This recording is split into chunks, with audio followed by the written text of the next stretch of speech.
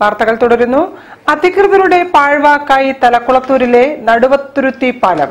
സർക്കാരിന്റെ അനുമതിക്കായി പദ്ധതി സമർപ്പിച്ചിട്ടും അനുകൂല നടപടികൾ ഉണ്ടായില്ലെന്ന് നാട്ടുകാർ പറയുന്നു. പാലം എത്രയും വേഗം യാഥാർത്ഥ്യമാക്കണമെന്നാണ് പ്രദേശത്തുകാരുടെ ആവശ്യം.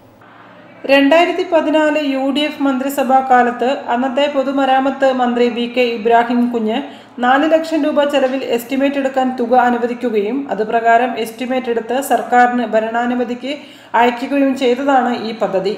ഇതുവരെയായിട്ടും ഭരണാനുമതിയോ ടെക്നിക്കൽ അനുമതിയോ പദ്ധതിക്ക് ലഭിച്ചില്ലെന്നാണ് ബന്ധപ്പെട്ടവർ പറയുന്നത്.